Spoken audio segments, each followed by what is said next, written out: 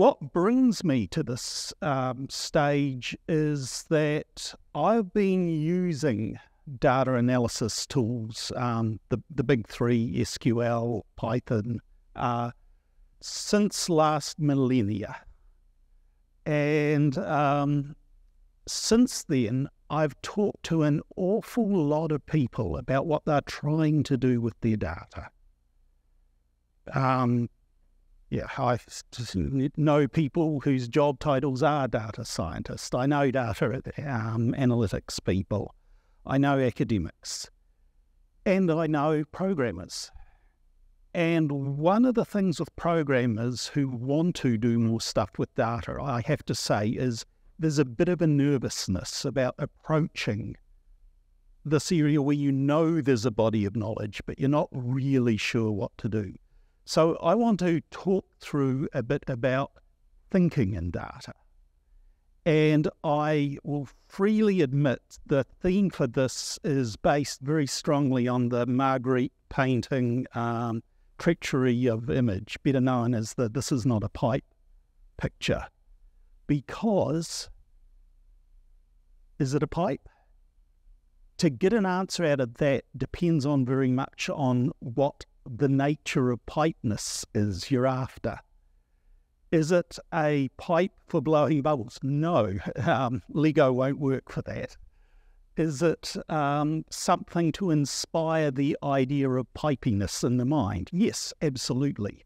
So there's going to be an awful lot of it depends on why you're doing it in the course of this. And a lot of people tend to think of data science as being a thing of mathematical complexity. That's a bit of a red herring, and I will be admit I'm being opinionated here. But we used to predict things with astrology, and astrology has got some extremely complicated equations in it. Now, when we want to find out about what fortune holds, we hear from economists and pundits. By the way, if you're ever feeling a bit annoyed about the pundits you're hearing in the run up to the you know changes in GDP being announced, just keep in mind that New Zealand releases its economic data quarterly. Its trading partners release economic data monthly. If you want a pretty good idea of what the result's going to be three weeks out, have a look at what's happening with all our trading partners. Does that matter? Is this a pipe? Well, it depends on very much if the economic figure is one that is heavily influenced by New Zealand or by international trade. And I have to say, the pundits you hear from in the media tend to be ones talking about New Zealand conditions all the time. So there's a tension there. But where we're actually going for talking through some longer examples is back in history to 1896. This is an 1896 electoral roll from South Dunedin. And the reason I picked it as an example is when you're dealing with 127 year old material, there's no confidentiality in the data about people that you face with modern data. So we've got surnames, we've got first names, we've got street names, and we've got occupations. And row after rows of that. So what is that as data? That's text. And we could treat that in a chat GTP corpus kind of way. We could feed it in and look at the adjacent entries and we could build something that generates fictitious but plausible seeming entries. That would be a way of treating that data. Does it make sense? Well, not if you want to find out anything true about the occurrences at the time, but it does make sense from a this is something you can do with text kind of way. What would more commonly be done with this kind of data is to structure it in some fashion. And you might notice there's a few commas there. So this is also comma separated values data in its raw form. And commonest practice would be column of surnames, column of first names, column of street, and a column of occupation. That's pretty typical analytics. No numbers in there, but you might generate numbers about number of occupations just by counting people up, by doing a how many of each sort of analysis which makes sense if that's a question you're interested in. And it's a perfectly reasonable thing to do. And the electoral roll is possibly the most complete source of that information that you could get your hands on. But, and this is a problem you face any time you dip into data, is it representative of the case that you are trying to describe? is the electoral roll representative of the general population? No. No one under 18 on the electoral roll. And in fact, in 1896, there was still a bit of tension over suffrage, so um, number of women on it varies a bit. And quite frankly, Maori Chinese uh, weren't encouraged to be on the electoral roll, let's put it that way. But you can do absolutely useful descriptive stuff about the source. Is it the pipe that we are talking about? Depends on the question you're trying to answer. But 1896 wasn't the only election. There's one in 80, one every three years.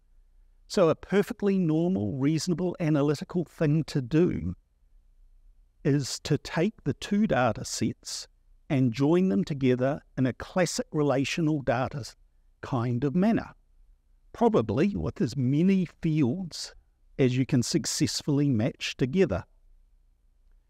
And you get the ability to look at change over time. You're comparing two things. Quite frankly, most business reporting is is number going up or is number going down from change over time. But you've actually just changed the nature of the underlying data as well, because you're suddenly only working with the people present in both data sets. Does that matter for your answer? Depends on what you're trying to achieve. And you might be unsatisfied with the number of matches you make because people change their jobs and people move. So you start doing fancier things, like using a scripting language like Python to run sequential join tests on the data, test joining the most likely and then trying steadily more outlandish joins with more limited data. It's a useful technique. You might try something really sneaky and observe people as actual people live in households. So households shift together. What you are technically doing at a data analysis level is you are aggregating the data into broader units, going up one step in aggregation, and then coming back down somewhere else. Slightly fancy. That's at about the point that your colleagues may begin to say, David should never work on contemporary data, it's too dangerous, um, if your name happens to be David. But the key thing here really is the more data sets you're joining together, you're getting better and better pictures of a smaller and smaller group, and you are building structural biases into it that depend on the nature of the data collected. And very often with data analysis, you're using someone else's data. And the solution there is understanding where those biases came from. Possibly the most important three letters in New Zealand per, per capita, things like that. And so much of numbers are actually a rate of some sort. Rates over time or per capita or other forms of rates. And the what you are purring can be very important for what you think it's telling you. We've got New Zealand road fatalities and where we fit in the world. We're so so for the road fatalities for the number of people. We're not too bad for the number of fatalities for the number of motor vehicles. Does that just mean we have too many motor vehicles? We're pretty poor for the number of kilometres driven, which is actually probably the best measure to use. However, there are only 25 countries that actually um, can track the number of kilometres driven. And that kind of thing changes the sort of answer that we're getting. Again, none of this is a reason not to do the work, not to look at these sort of questions. What this is, is a reason to document your thinking and to explain the best thinking I could do at the time was this. And on that per, here's something I did a few years ago. Um, I have to give a shout out to Chris Knox, um, who's a data person at the New Zealand Herald here. He made an OIA of what is the hour that every road accident occurred in. And this is the number of accidents by day as a weekly pattern, a per day, and there's a psych, weekly cycle here. And if you're investigating that, you might think other pers might be relevant. Like per what was happening on Monday at different hours of the evening commute. Highlight something different, different slice of per. Um, the key evening commutes, the after 6 pm, are the green and the almost impossible to see yellow that is very close to the green line up there. But you might be wondering, well, perhaps the tra- number of traffic is different. So you might per the Auckland Harbour Bridge, how many cars were going over the Auckland Harbour Bridge on that day, on the Monday. Get a very similar pattern. You might per the total daily crashes, how many were going on in the evening commute. Each one is telling you a slightly different thing. There is nothing wrong with any of these different ways. They're just different facets of trying to get to reality. And the, my personal favourite is the evening crashes per the morning crashes.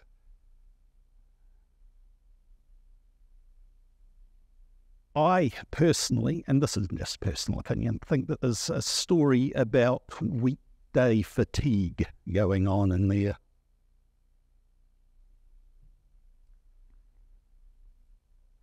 I have done a lot of stuff with COVID data um, over the past few years, and there was another story I'd just like you to think about. Um, back in August 14th, we um, dropped isolation, we dropped masking and care. And people were really interested in what effect that was going to have on the COVID numbers.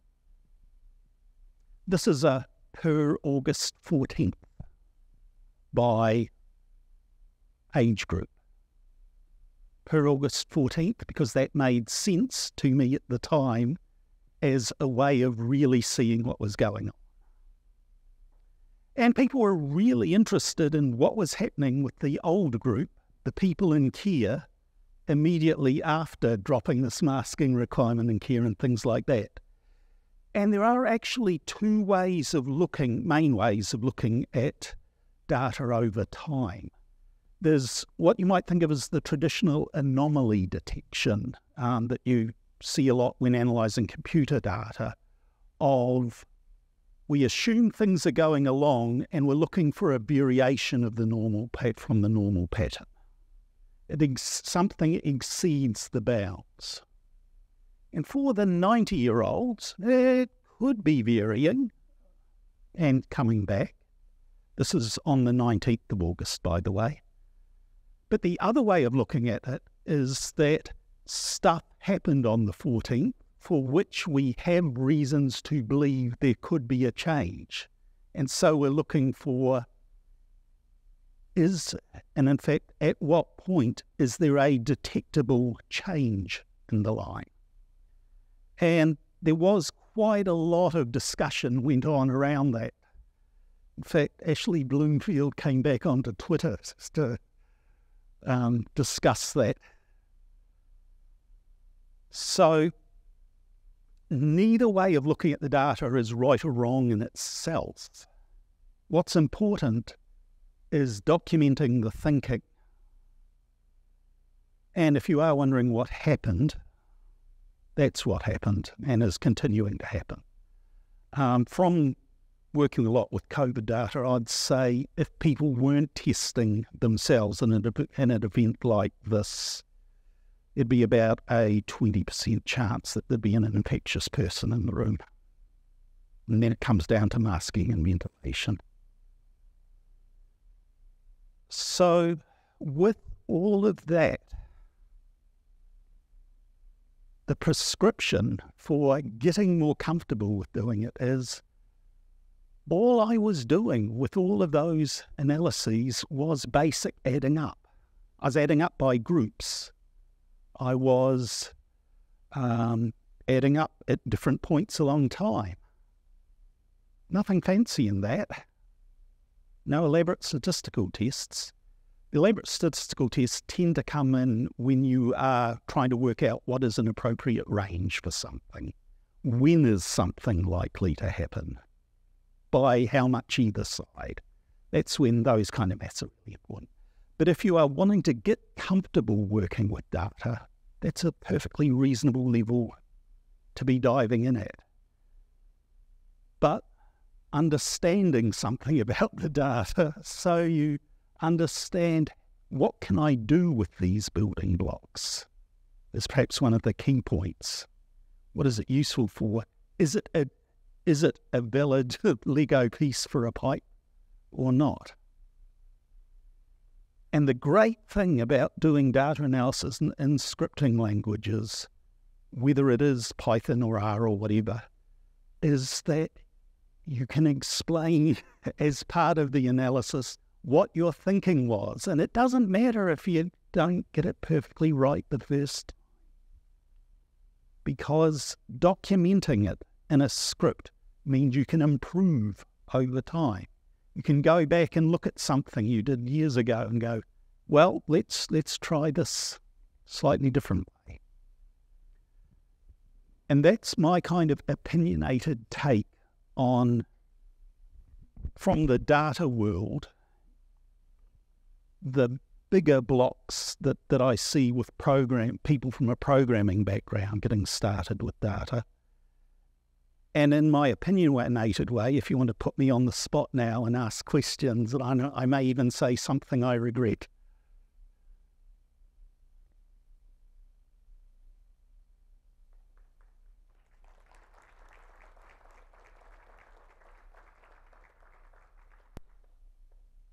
We do have several minutes for questions. Anyone wants to?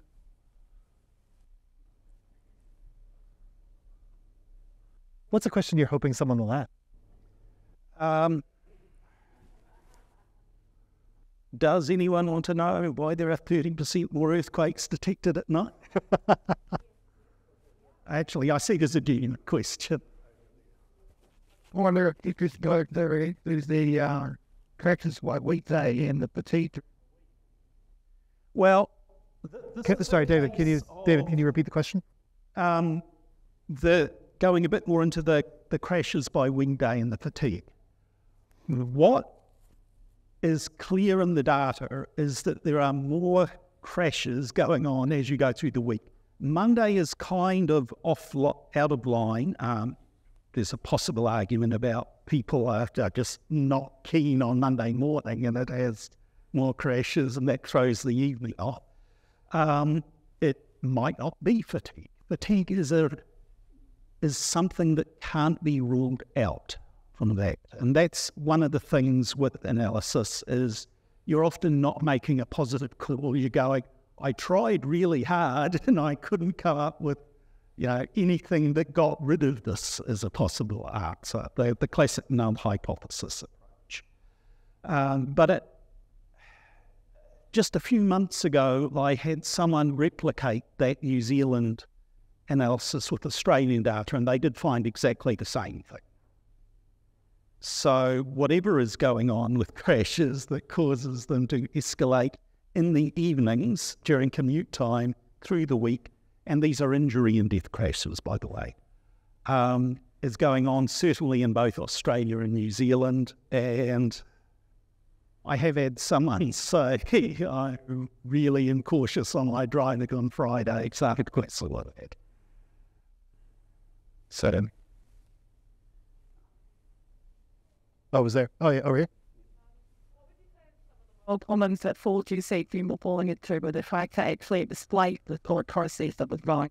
the the commonest pitfall is being convinced that the thing you think should be the case is the case. Um, that I am that one thing is the entire explanation for all the ills in the world, and, and this is evidence of that because the world is a horrible, unstructured, messy place, and we are structuring it and creating facets to look at that. And those facets, yeah, they illuminate things, but it's still a messy world in behind it all. Um, so people being too convinced that, and as a result of that, their theories about how the world should work, leading their conclusions to a level not supported by the data. You can go a long way just for making things clearer, just by showing people what the data summaries are without imposing any great meaning on it.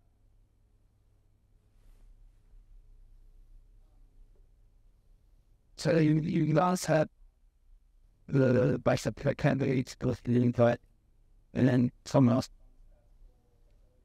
Yeah, completely unrelated data set that happened to have um, date and time of accidents for Australia. They applied the same methods. Vaccines, Australia, as this, Italy, Yes. Um,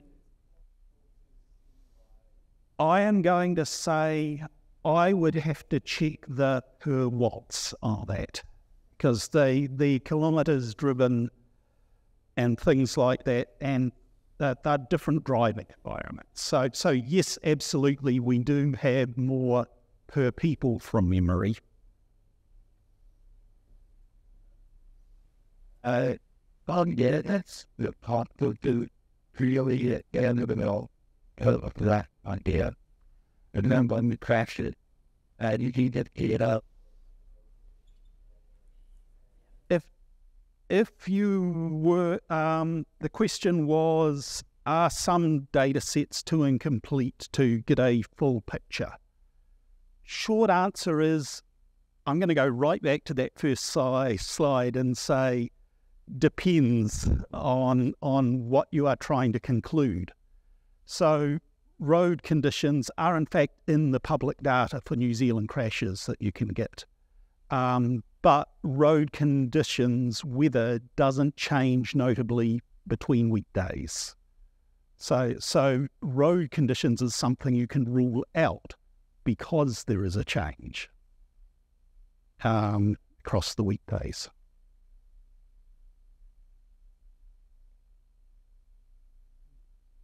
Yeah, yeah, you are that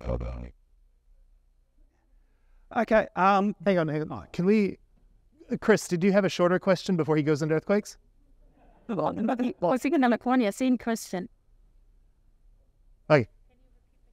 Okay, the, the, this has been my um, bit in life uh, for, for years. Um, originally, I was annoyed by something, so I wanted to, to pick a data set, cherry pick it deliberately, and produce a bad result to explain bad cherry picked data. So I downloaded all the earthquakes for New Zealand and I made a graph of hour of the day, and there were 30% more at night, which was a bit disturbing because I hadn't cherry picked the data at that point. Um, and there is, this is where I have to say, I'm going to say right at the outset, I've had vigorous discussion with any number of geologists on this. Um, there is an actual variation in the data on the seismograph heads themselves in the distribution of the strength of the amplitude of the, the of the needle. Um, so it's not a later artifact.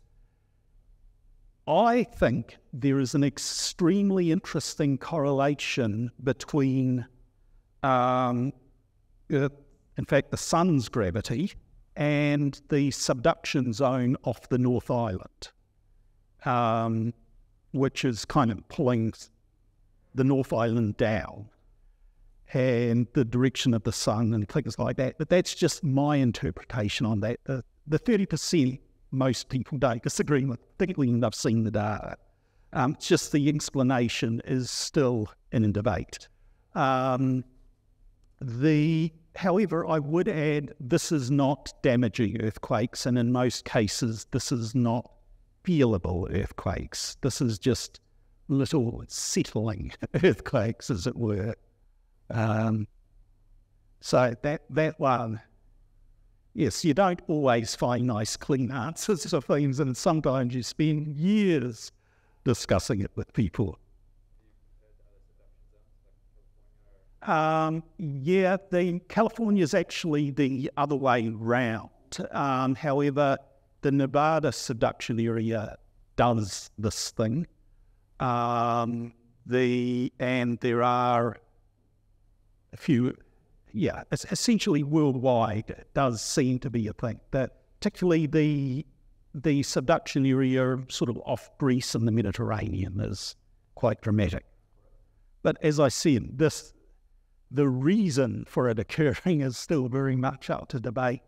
There is, I've had, I've had incredible ongoing arguments about trying to disprove the idea that it's more human noise during the day, creating a masking effect on the seismograph.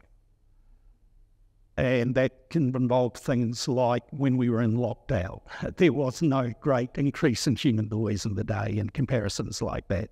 But that's that's an ongoing process on that topic. Then if it's something to the front gravity, then does the when you forward up the around the sun, does that have any issue? Um, not.